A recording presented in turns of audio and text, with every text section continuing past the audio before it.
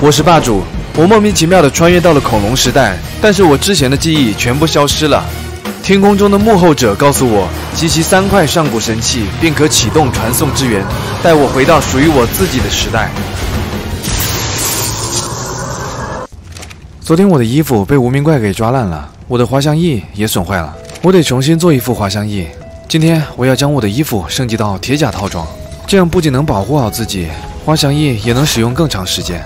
OK，搞定。地下水域的危险性我还是清楚的，带上我的宠物们，准备出发。重爪龙、地鳄，你们四个跟着我到水下集合。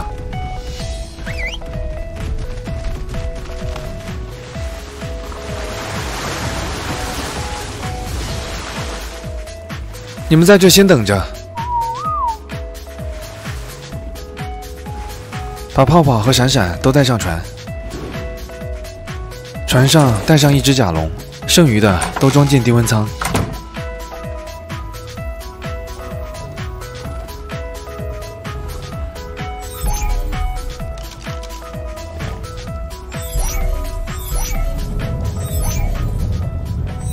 宠物们安排完毕，收集地震物资。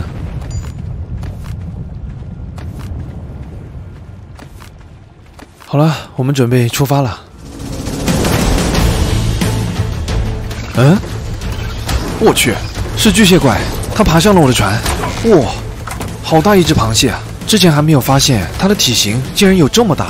它跟着我从船上追了下来，快，我得抓紧时间回到船上。哇，还有一只水母。差一点，哇，好危险啊！快驾船离开，先回到岸边。那只大螃蟹还在后面追着我的船，它跳起来特别高，很容易就能跳到我的船上。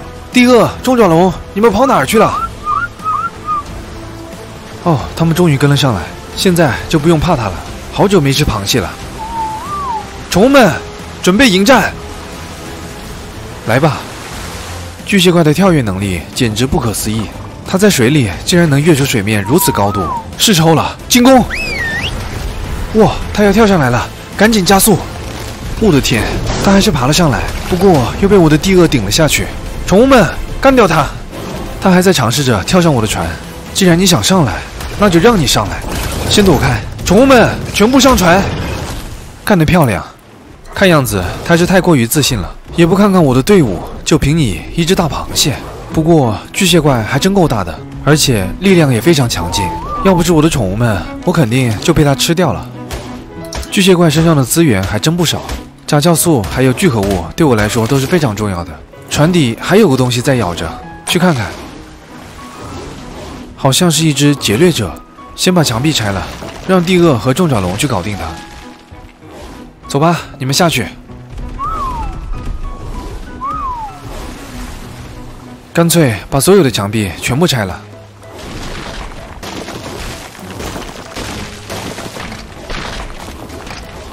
宠物们，跟上我的船，我们要继续往前方探索了。上来吧，都上来！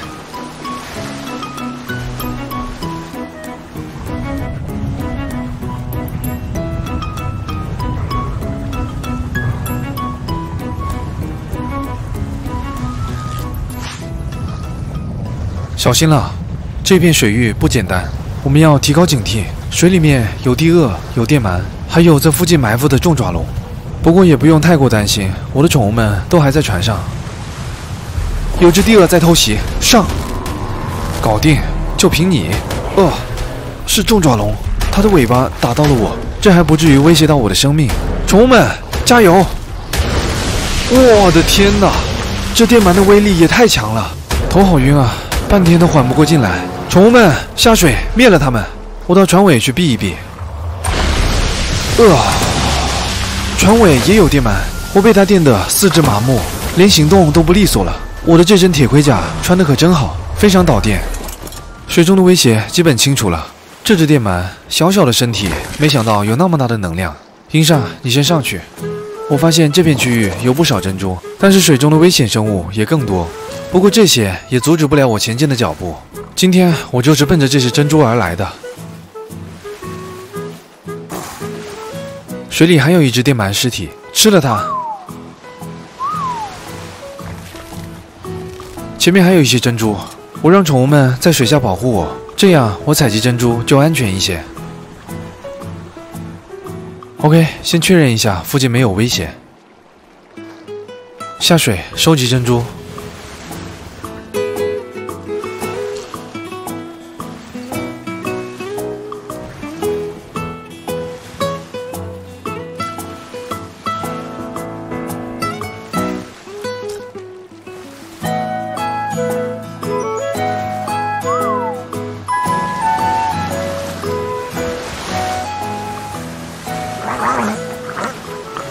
哦，哎，可憋死我了！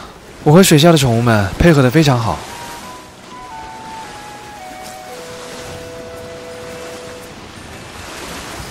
刚刚发现了几颗大贝壳，里面有非常多的珍珠。到目前为止，收获已经不小了。宠物们，跟上我。